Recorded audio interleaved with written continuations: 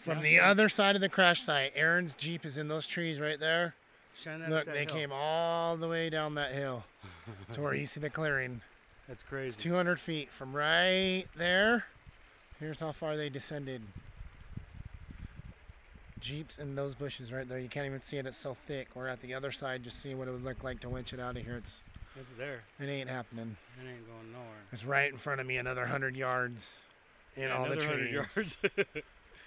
Dude, ice chest that fell out's that is about so right steep. there, right down to the bottom, I can't even believe it. There's the bottom, all the way up to there's the road. Insane, insane.